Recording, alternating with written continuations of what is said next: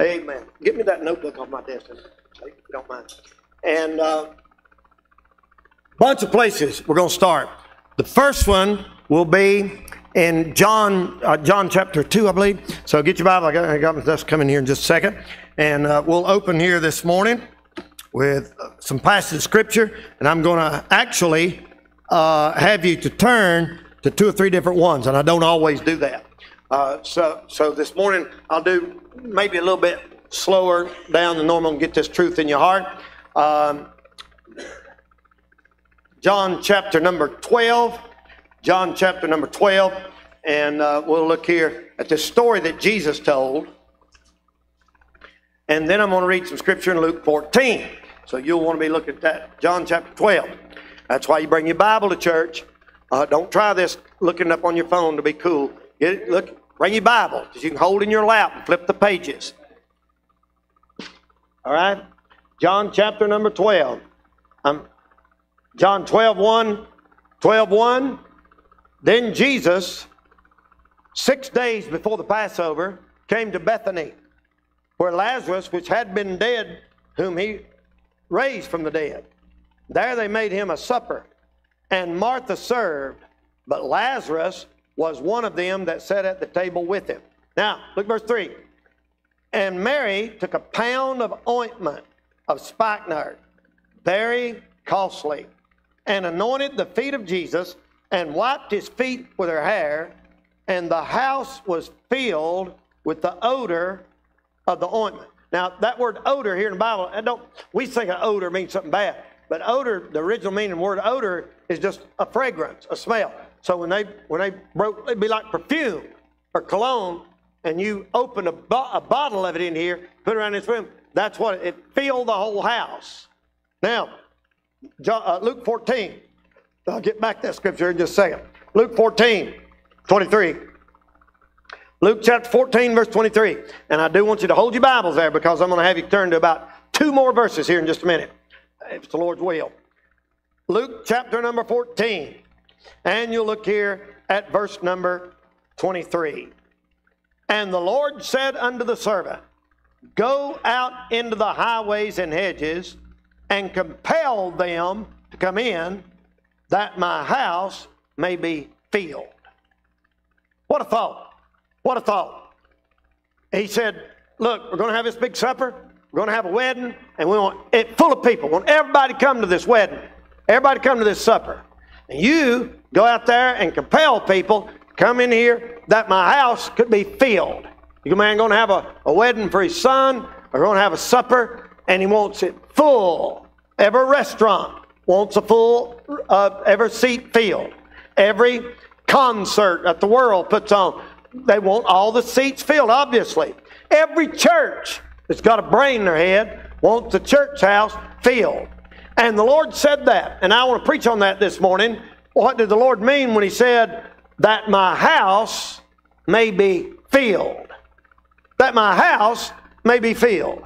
This is a long time, often quoted by preachers and Sunday school teachers to encourage church attendance. But that's not all that the Lord meant. I want to just drive that one nail home hard this morning just for a few minutes. Then we'll sing some more here in a minute.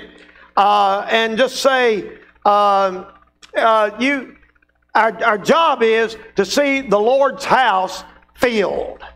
Now, that don't mean just people. Normally, when you hear a preacher preach on that, you ever, well, let's go out and get them that the house of God may be filled. Now, there's a couple things.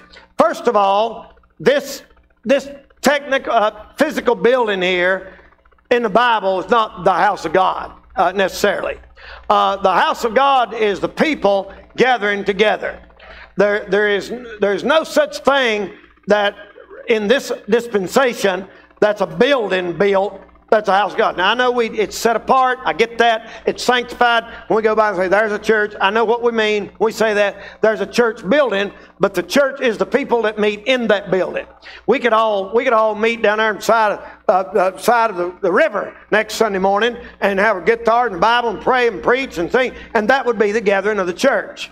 But this there's always always been in the Bible a place where the Lord met with these people, even in the Old Testament, and that sanctuary and that tabernacle and all that, that's a principle that God has always had a certain place for people to meet and worship Him. It sure, they sure have. I mean, that's undeniable.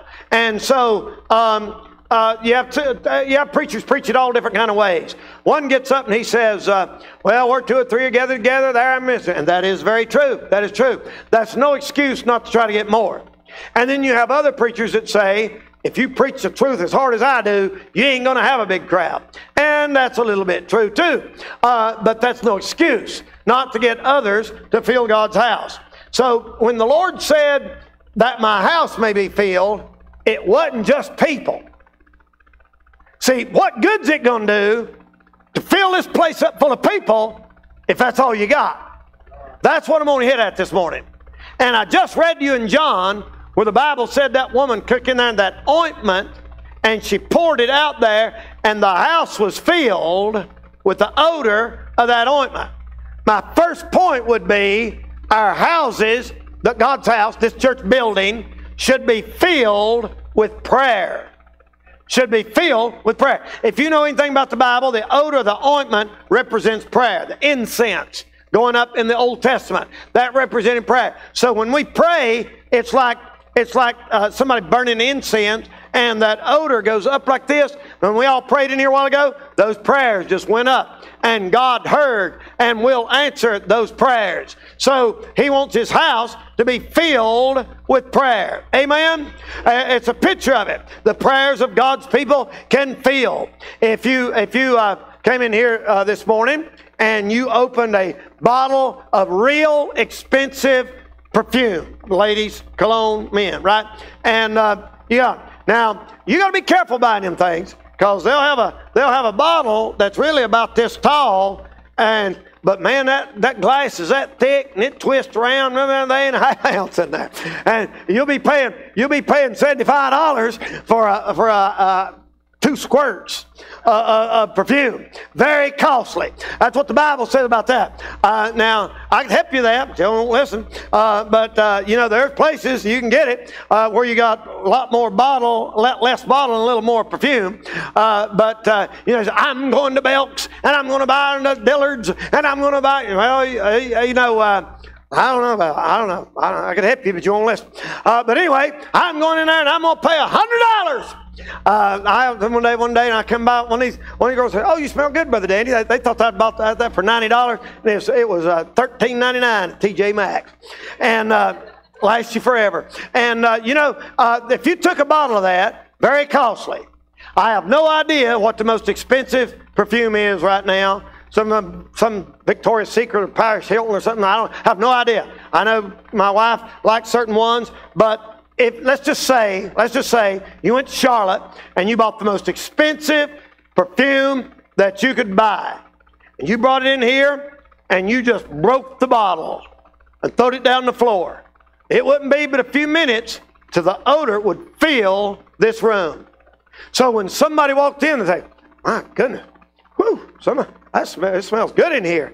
Good night. And the Bible said when that woman bought that, it was very costly. A lot of money.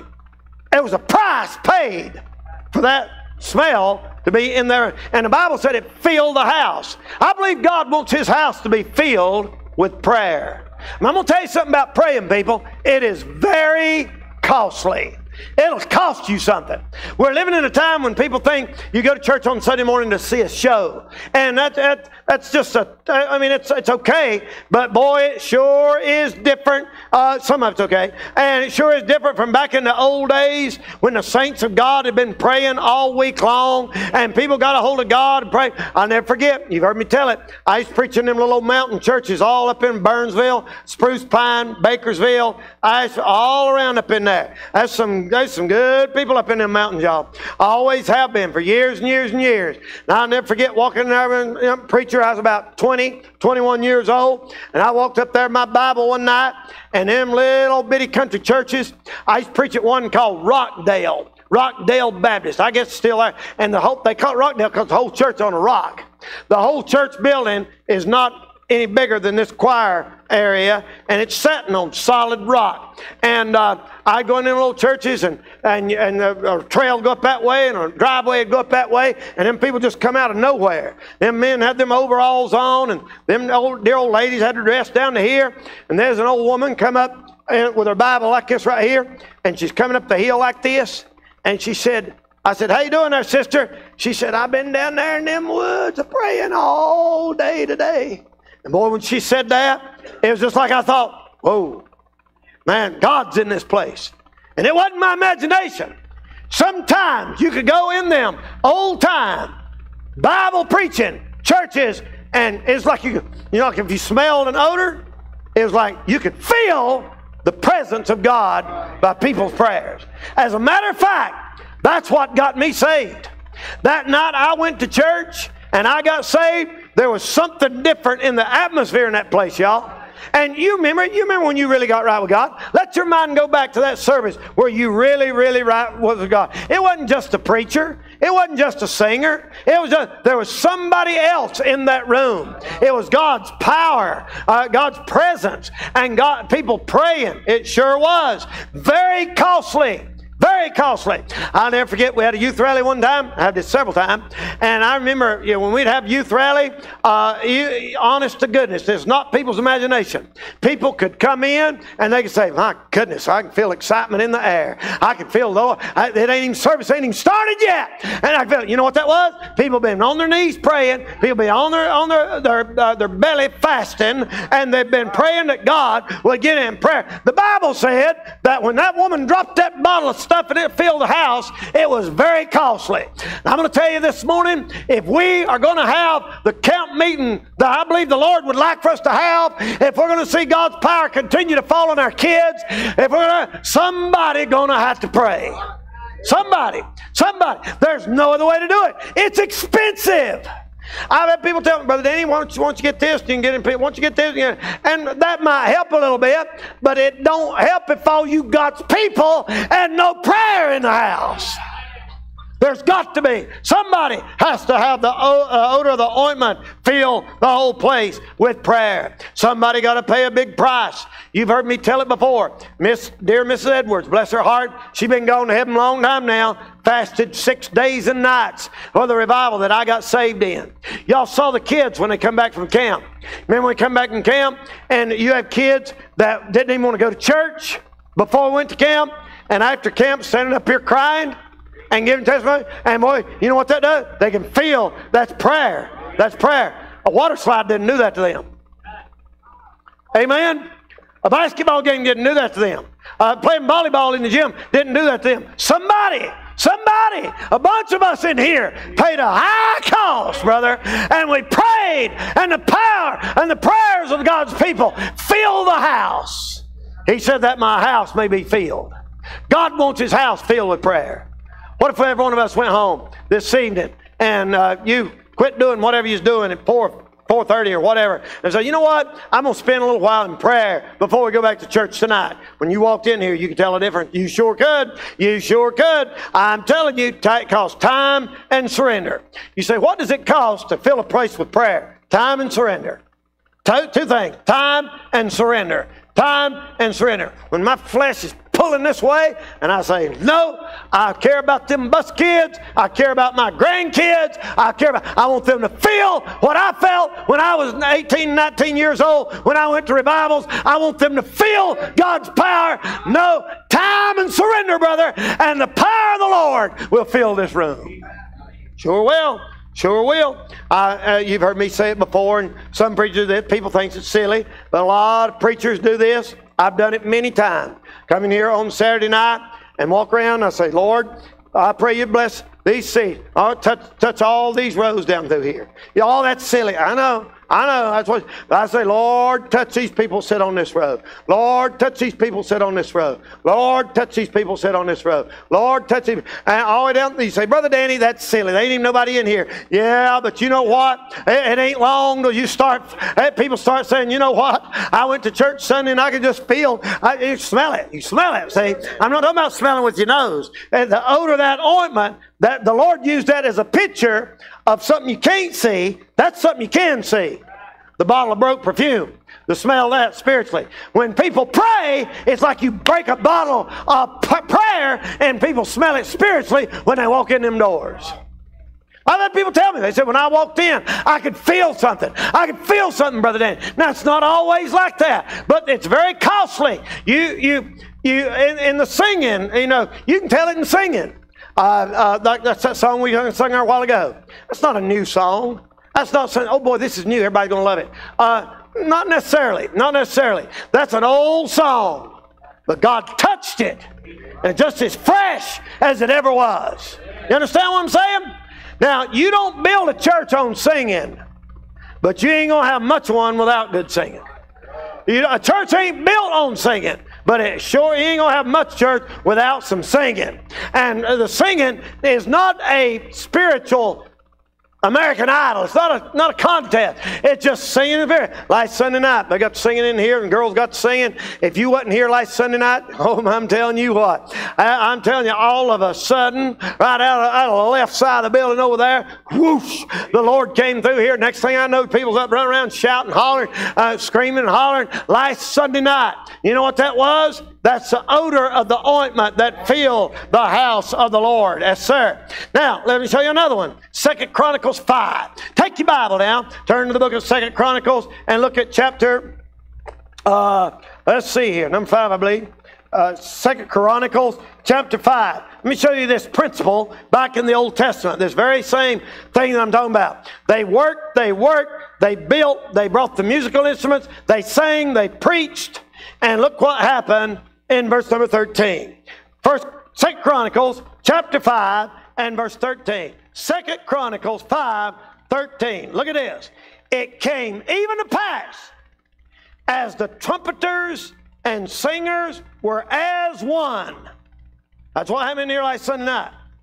To make one sound to be heard in praising and thanking the Lord. And when they lifted up their voice with trumpets and cymbals and instruments of music and praise the Lord, saying, For he is good, his mercy endureth forever. Look what happened, people. Look what happened.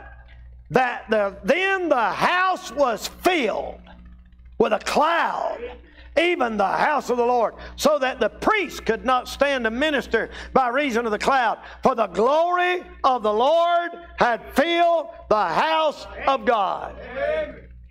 Now, that you say, well, that's an Old Testament. I understand that. But there's a principle there.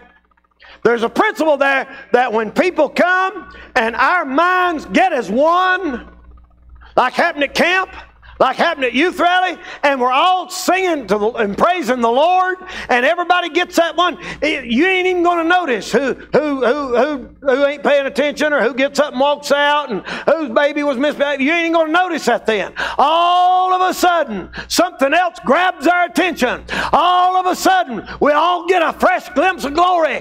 All of a sudden, the praise of God fills the house. Brother, that's what you have when you have real church. We're, we're living in a time when it's all about celebrities and, and, and Christian celebrities, and it's all about the preacher. It ain't all about the preacher. I, I'm, just, I'm just a messenger trying to give you something to help you. That's all I am. I ain't no different, no better than nobody in here. Probably worse than most of you, uh, if the truth is known. But I'm telling you this morning, when we all get our eyes on Him, and we all get our minds off our troubles and off our problems, and it seems like for just a minute, the heavens open up just a little bit, and God gives us a little fresh glimpse and our hope becomes real again and the Spirit of God stirs down in our soul. Brother, God wants His house filled with power. I'll never forget, never forget. I told you many times. Uh, we had a revival going on up at New Man. We had several over the years. And one of the first ones was uh, church wasn't about two years old, and a bunch of kids from high school started getting saved. But cheerleaders and everything from now high school started getting saved. And they was bringing their friends every service, and people getting saved. Now, I know most y'all wasn't even uh, there then. And back back in the early days, I had to do everything. I had to, I played the piano, made the announcements, took up the offering, preached, and gave the invitation.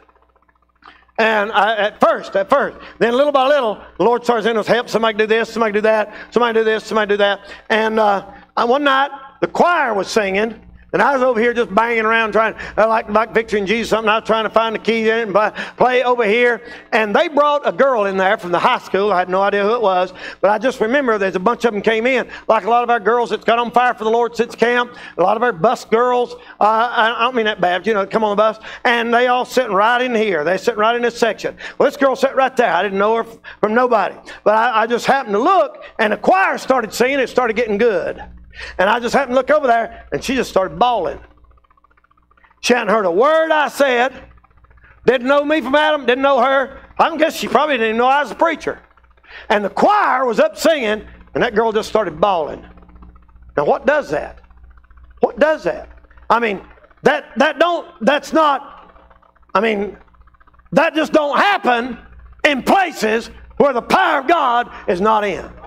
And I was up here trying to you know, uh, trying to get somebody's attention. Go, y'all look around. You might see where God can use you. You know, uh, and uh, and I was trying to say, go, get her. And finally, somebody went and got her and took her to the altar, and she got saved. Her life changed immediately. And I think she was a cheerleader at McDowell High School. And God got a hold of that girl and changed her, as He did a bunch of them back then. Now I know people say, no, you cannot get saved until you hear preaching. That she had heard preaching her whole life at one time or another. It don't say you have to get saved 10 minutes after you hear a preacher preach. It might be years down the road. She knew there was a God. She knew that the Bible was true. And the Lord saved her that night. And you know what that was? The place was filled with power. I've had people tell me this. They say, Brother Danny, it's all emotional. You know, people write in, make comments about me, and they'll say, uh, You're really a good preacher. Why do you have to scream? And I don't even answer them. If they're that dumb, I don't even answer them. Uh, first, they don't know the definition of preach. Second, they don't know the definition of believing what you preach and being excited about it. I would say this why do you have to scream at a ball game? You know, you know why? You're excited about it.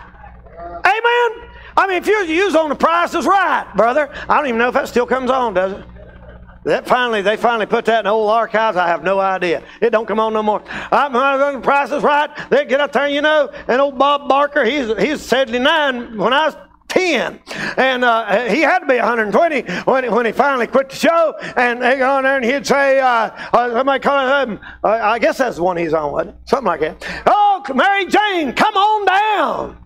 And buddy, I'm telling you, Mary Jane would be about halfway back here somewhere. She'd have on Mickey Mouse here. She's been to Disneyland since she's out there in California. And here's exactly what she would do. She'd come and go, ah!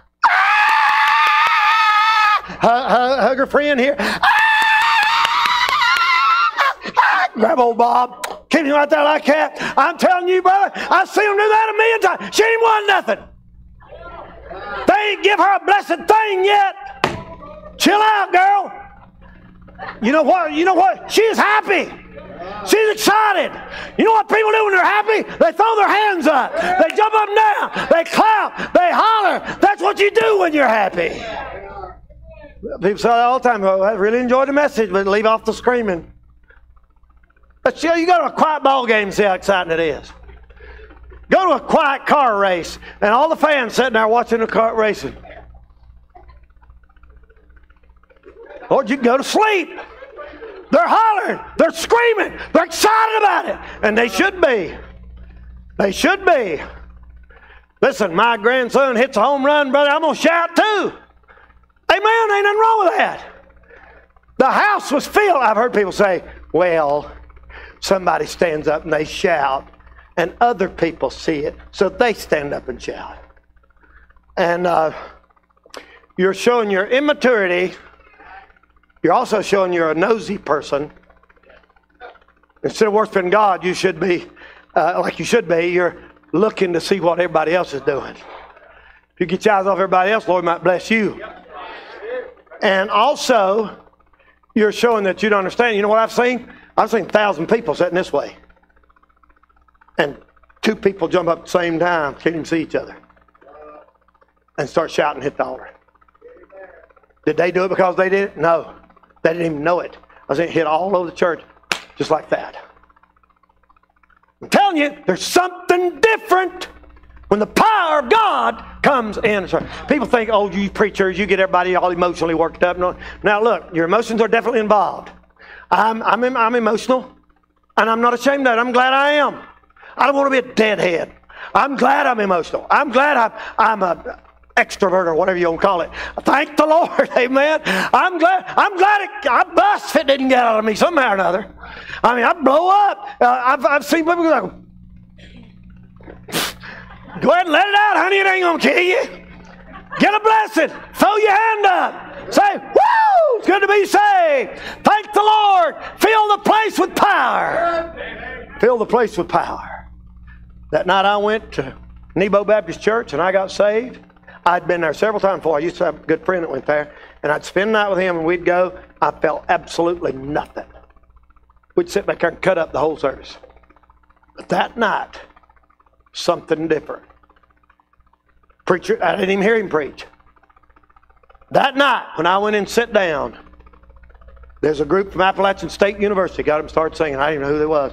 I went to school with one girl and she brought them down there sing. Something started moving in that church. Next thing I know, here went one, there went one, here went one, there went one. Next thing I know, I was on the floor crying. That's, that's power. The place was filled with power. You say, oh, Brother Danny, that's just your emotion. Emotions lasted 50 years? Huh? You know when emotions wear out? Next day. If you just get an emotional stir, you'll be the same way in another, another day or so. But it, it's, there's something there that night, brother, that permanently put something inside of me that ain't never left since.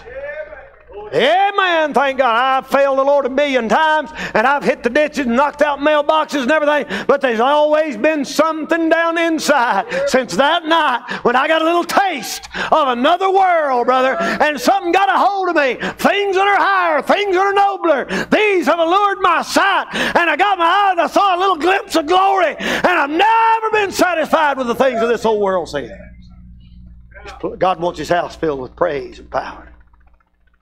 Thirdly, and I'm through, turn to Mark chapter 2. Mark chapter 2, and I'm done. Let me show you this right quick. Now, the truth is, God does want his house filled with people. He sure does. It is the Lord's will that every Bible believing church be filled. Look here, Mark 2 and verse 1. And again he entered into Capernaum after some days. And it was noised that he was in the house.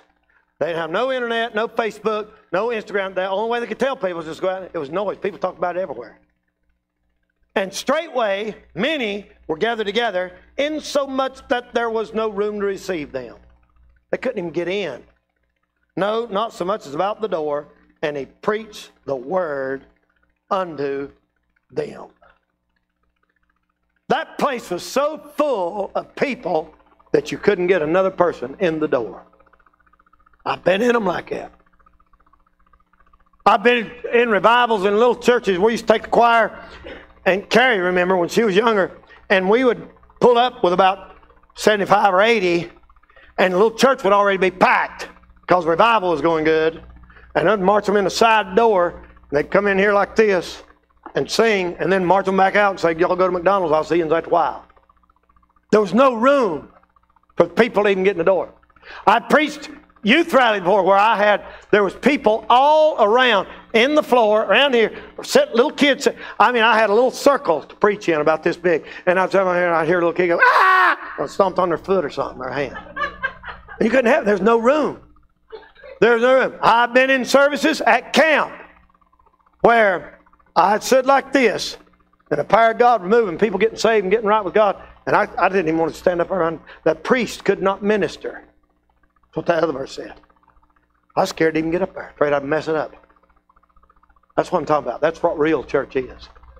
That's what real church is. Full of people. Full of people. Gypsy Smith, the great evangelist for years in this country, he, he, he won a young boy to the Lord and, and he got this boy saved and he started coming to his meetings and he told, he told Gypsy Smith, he said, Oh, I see it. He said, you give yourself to Jesus, then you leave yourself and go get somebody else. And the preacher said, That's right. That's the Christian life. He said, I give myself to Jesus, then I leave myself there at the altar, and I go get somebody else. The next night, he brought his mom, she got saved. The next night, he brought his grandpa, and grandpa got saved. I'm telling you, one of the most exciting times of your life is when you first get right with God. And it's all fresh and all new and all wonderful to you. Then all, the first thing you want to do is go get your sister, your mom, your grandma. Your Bible say, come to church with me. Come to church with me. That's exactly what I'm talking about. That's the way it's supposed to be. Lord, you remember when you used to do that? Remember when you used to couldn't wait to go to church? You'd call your sister and say, Why don't y'all come to church Sunday? Please come to church. Remember them good old days? That's what the Lord wants. The Lord wants His house to be filled with people. I've heard preachers say, and I've finaggled around with it myself a little bit about a long, long time ago, and I realized it wasn't right. I've heard preachers get up and say, Well, there ain't many of us here tonight. But I believe it's exactly who God wanted. I mean, that sounds pious and everything, but you really believe you really believe God didn't want nobody else there? That's a weird way to think, you know. I, I, mean, I'd, I'd hate to meet somebody downtown and say, Man, we had the best service ever was last night. And they say, Good night. I wish I'd have been. Nope, nope, God didn't want you there. You see how dumb that way of thinking? That's crazy. Preachers say all kind of crazy stuff sometimes. I have no idea in the world what they're talking about. You honestly believe? Now, I give it. I give you this. Jesus did take Peter, James, and John up on the mountain. There was a certain time when he wanted to do something. I got that. But on a regular Sunday, when it's when you're just praying and preaching and worshiping the Lord, you honestly try and tell me that everybody's in church this morning that God wants to be in church? No. No.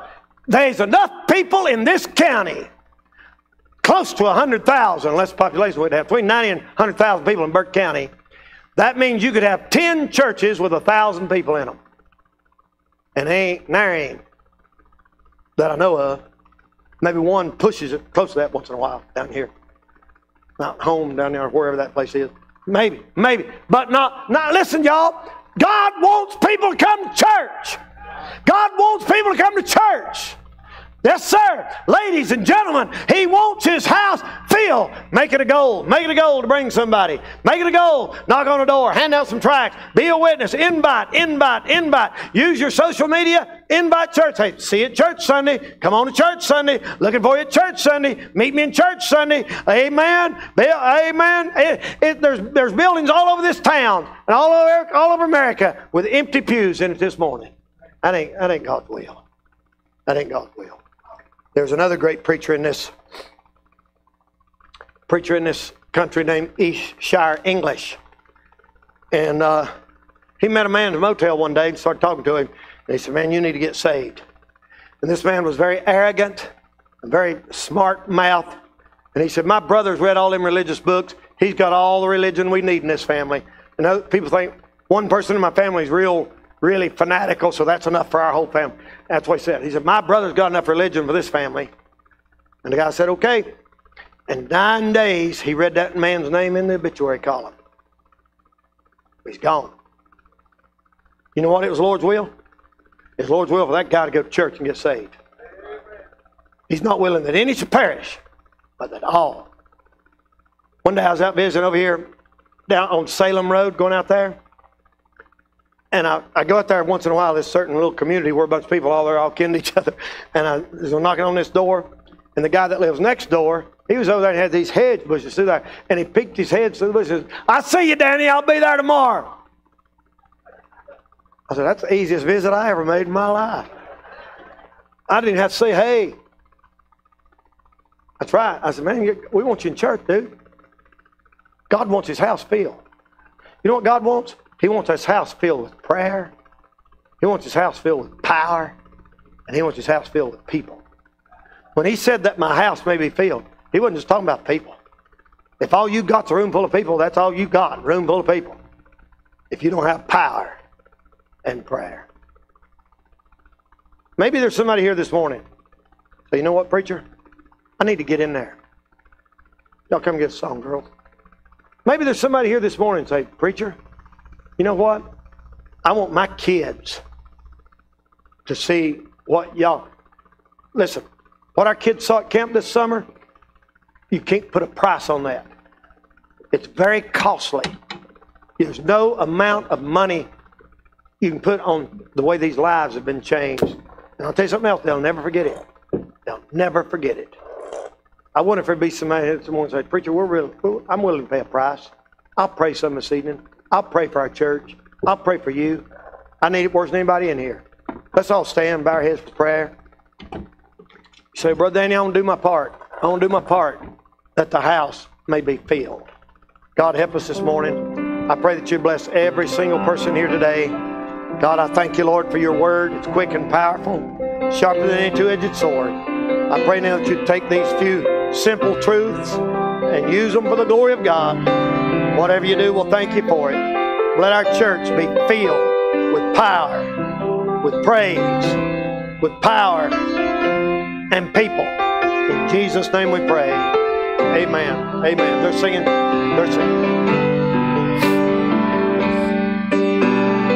need another valley where I cannot see the sun. Amen. Amen. Say, Brother Danny, I want to see God's power move in this church. I want to see God's presence in this church. I want to see the power and the praise in our church. Come on. Come on, let's pray. Amen. Amen.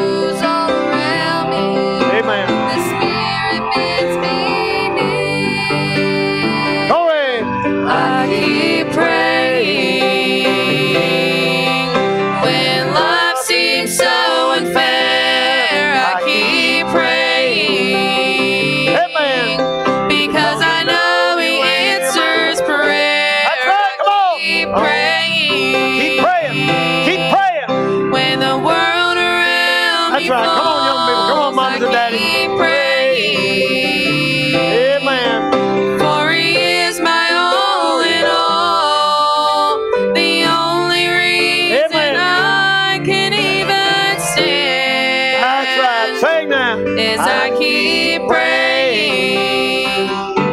Amen. You got to just keep praying. You got to just keep praying. You got a family member that needs help. Just keep praying. Got somebody that's not saved in your family? Keep praying. Don't give up. Don't give up. Just keep praying. Keep praying.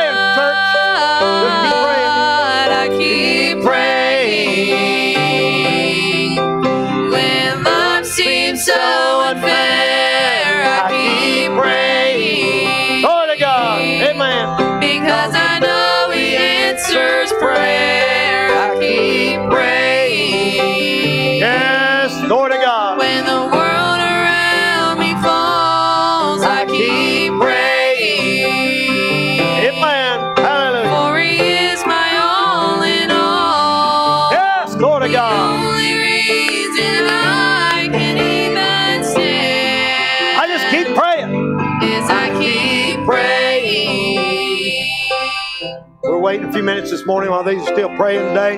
Don't get no hurry. Don't get no hurry. You get it settled. You get it settled between you and God. Get it settled between you and God. Amen. So I'm still praying. Amen. Just keep praying. Just keep praying. The Secret to the Christian life is just like boxing or football or anything else. You get knocked down, you get back up. You get knocked down, you get back up. The secret of Christian life is not quitting. You don't quit. That's the secret right there. The devil's going to knock you in the head once in a while. Just wipe your nose and keep going. Keep going. Keep going to church. Keep your family. church. All you people's got all these little kids. I know you. Sometimes you think, my goodness, they ain't no use me coming to church. You feel like that for a while, but it'll smooth out. It gets it gets better. They'll get they'll grow out of it real quick. Amen. All right. Hearts clear. Amen. All right. Uh, thank you for coming this morning. Uh,